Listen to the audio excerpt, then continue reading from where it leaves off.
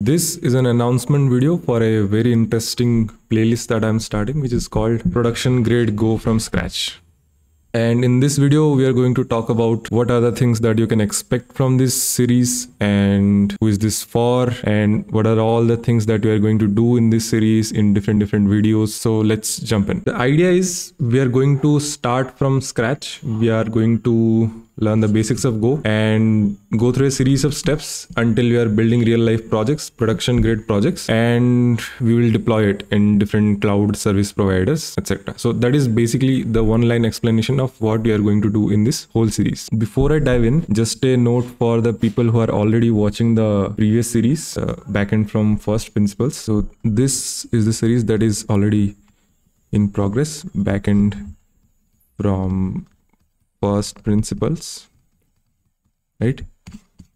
As i already mentioned in this series we are talking about the different concepts that exist in the backend world all the theory behind it without involving any kind of code. It is language agnostic. And if you've watched the roadmap then you'll know what are all the different different concepts that we are going to cover in this playlist. This playlist is completely independent and in the initial video of this playlist, I had mentioned that there are going to be two more playlists, which are going to be backend from first principles using Node and backend from first principles using Go. Right? There are going to be two more playlists which are going to complement this concept based playlist. So in these two playlists, we are going to explore these concepts in code using Node and again using Golang, right? The same thing, backend from first principles. Apart from that, this playlist that, that I am announcing today, this is called production grade go from scratch. So the idea is this playlist is completely independent from these above three. Of course, if you are already watching backend from first principles, all the concepts behind it, or if you're planning to watch it, then that's very good. You will get a more thorough and more deep understanding of all the implementation specific things that you are going to do in this playlist. But even if you don't, the idea of this playlist is we are going to learn Go in the fastest way possible, right? Until you are producing production grade code, until you are deploying, your building and you're shipping servers as fast as possible. We are not going to go too deep into any of the concepts. The only goal of this playlist is to write code, ship and deploy, just building things. And how is this playlist different from this playlist? Right? The backend from first principles in Go. In this one, the backend from first principles in Go, we are going to dive deep into different backend concepts using Go. For example, uh, we have explored routing or serialization and deserialization in backend from first principles concepts based. So what we are going to do in this Go video is we are going to see how routing works in Golang using standard libraries or how Go does serialization and deserialization using the standard library package uh, JSON. We are going to see the code in this and dive deep and discuss different things surrounding it. But in this one, production grade go from scratch, we are not focusing on standard library concepts or understanding how things work behind the scenes. We're not going to do that. We'll take the whatever tool that is the best in the market, whatever tool that makes you the most productive, and we are going to focus on building things and actually shipping things. Of course, that does not mean that we are not going to cover concepts of Go itself. We are going to do that. It's just we are not going to go deep into backend concept. We are only focusing on Go in this playlist. Now, what can you expect from this series? And before I get into that, let me give you the context. I work as a backend engineer, uh, mostly with TypeScript and Node.js and Golang. So when I started learning Go a few years back, I explored all the resources that is available in the market, went through different YouTube videos, different playlists, explored Udemy courses, read different different books on Golang, and of course I read the official Golang documentations multiple times and the standard library code, what are the best practices, etc. etc. It took a long time. It took a more than a year to get a little confident in Go to start building servers or start writing code that actually does useful stuff. And now I realize I could have learned it faster if I did things in a different sequence. So that's the idea. I want to take the optimal sequence of learning Go so that it is the fastest way to learn Go, to write good code in Go, and also understand all the concepts behind it and the best practices, the industry standards, etc. etc. We are not going to cut corners in any of these things, yet we are going to do it much faster than any of the traditional ways of learning. That's the whole idea. Okay. So that's what you can expect from this series. And here are the three things that we are going to do in this whole series on a very high level. Of course, there are multiple things that are going to come under each of these steps. But this is the whole idea. The first thing is we are going to we are going to explore everything there is about go from the official golang docs. We are not going to go to any other resource. I am not going to come up with my own way of teaching. We are not going to do that the people from Go team have created a lot of useful resources. Uh, for example, the tour of Go, effective Go, and the Go uh, language specs and Go with examples. There are a lot of good resources and resources which are enough to get you started and to get you write good code in Go. So we'll keep the scope under that only. We are going to learn Go the way we are supposed to learn Go from the official docs. That's the first thing that we are going to do. This is the Golang official documentation. So we are just going to install Go and start exploring all the things that we need to know to get us started with working with Go from the official docs. Right? That's the first thing, and that's what you're going to start with. And now the second thing, and I think this is the most important part of this series, which is reading good code, right? Reading good Go code that the other people have written over the years.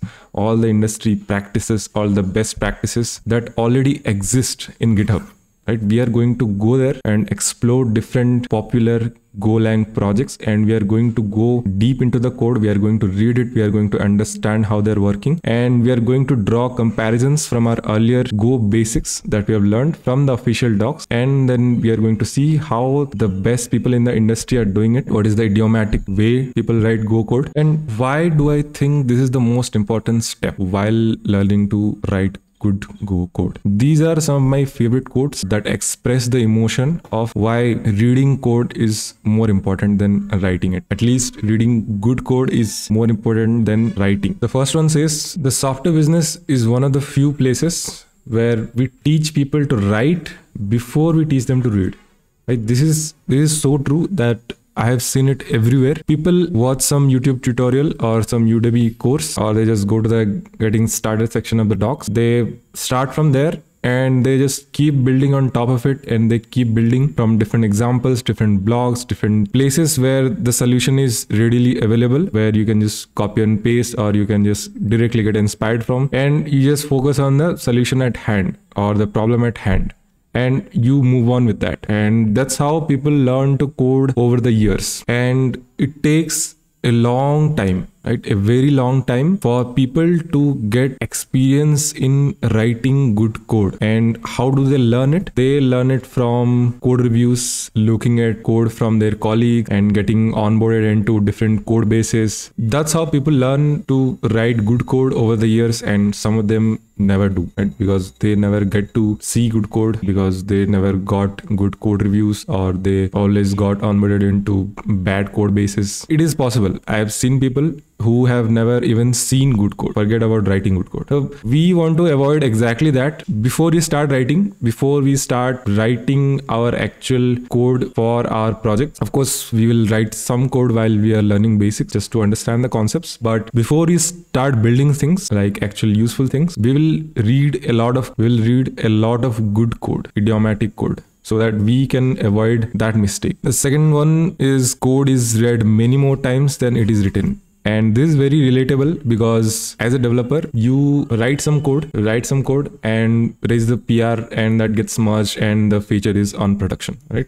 And after that point you change that code if let's say there is some bug or the requirements changed etc etc but after that point from that code getting merged that code is read many many many many more times by you and your colleagues and your manager or people who write tests from a lot of different people. The point here is you cannot get away with writing bad code because you think the deadline is approaching and you have to ship this feature. So you write some random code that just works but it looks very bad. It is not idiomatic or it might have bugs etc etc and you might get away with it because of the deadline the code gets merged but that code will be read by a lot of people by you and it will cause issues it will cause readability issues it will cause bugs it will cause maintenance issues and a lot of issues. Because the code is read many more times than it is written right? The reading part happens way more frequently and it is more important than writing it. And the last one is programming is among other things a kind of writing. And one way to learn writing is to write. But in all other forms of writing one also reads we read examples of both good and bad to facilitate learning. But how many programmers learn to write programs by reading programs? This is a question you can ask yourself. When was the last time you read code just for the sake of it? Just for reading code, just to like soak it in, just to absorb all the good practices or the good style of that code. No, just reading code for the sake of reading code. When was the last time you did it? In all the other forms of writing, whether it is writing books or writing blogs or any kind of creative writing, you will notice that people who write good books or people who write great blogs they are the people who have a habit of reading right? They have read from a lot of people. They've read a lot of content and they have read a lot of good content and bad content. And over the years they have developed their own style of writing from reading all those good content. People who are good at writing they're also good at reading right? So as a programmer if you don't dedicate a certain amount of your time to read code it is impossible. It is very difficult to get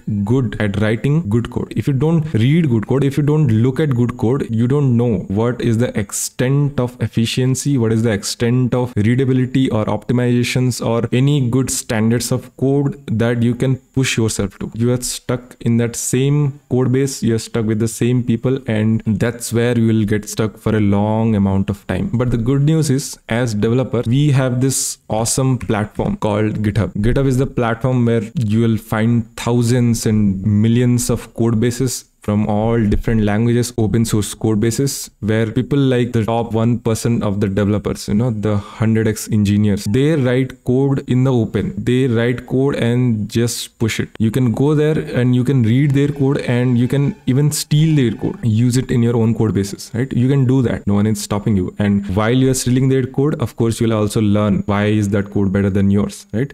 So the point is we have this awesome platform where it just takes a few seconds to go there and find the top quality code that I don't think we fully utilize. That's what we are going to do in the second step. That's the whole idea. In the first step, we'll we'll learn Go from the official docs. In the second step, we'll go to GitHub.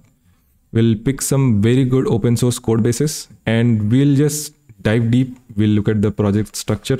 We'll read the code we'll see what are the good practices what is what how are people building server related stuff what are the different types of implementations what is the good idiomatic go code to maintain in a production style code base and everything right? We'll dedicate a lot of time to read code. And also from my experience i'll share how what is the fastest way to get into open source code base understand where are all the useful stuff are what are the parts to focus on what are the parts you can steal from and all the tips and tricks that i have learned over the years by learning open source code bases myself that is about the second step the third step where we actually build projects, not just any CRUD APIs. We will build projects end to end. Right? We will follow all the best practices. We'll assume from the start that it is a production grade project. It is going to have tens of thousands of users and we cannot cut corners in any of the areas. That is going to be the aim. Unlike other tutorials where you will frequently hear that in this tutorial we are going to do this, but in a production grade project you are going to do things differently. You'll never hear this in this series. From the start only, we'll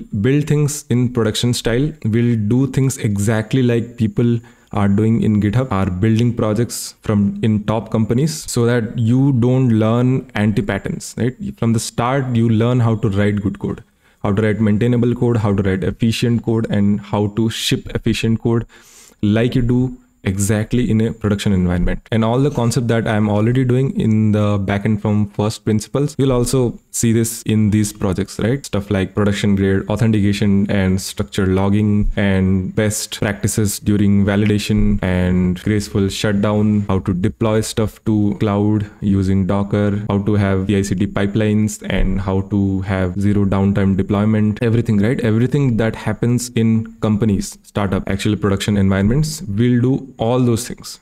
We won't cut corners anywhere. That is my promise. It is going to take a lot of effort, but by the end of this series, you will come out as a great engineer that people can look up to. You will learn how to read code, how to read good code, how to be a great engineer who has a very good understanding of the official docs. You know, that is a most important step as an engineer. An engineer who has read many, many, many good code bases, who has an understanding that what people from the top of the industry are doing, what is the idiomatic way of doing anything and everything in Go. And then building and shipping end-to-end project from starting from scratch to deployment in a production style. Engineers that we need more in numbers of in these times of AIs where everyone is just focusing on shipping fast and shipping whatever the AI tool spits out. An engineer who has a very good foundation and a very good experience in reading stuff and building stuff. Basically someone with a comprehensive knowledge about all the tools and the language to work on. So see you in the next video where we dive deep into the Go basics from the official docs.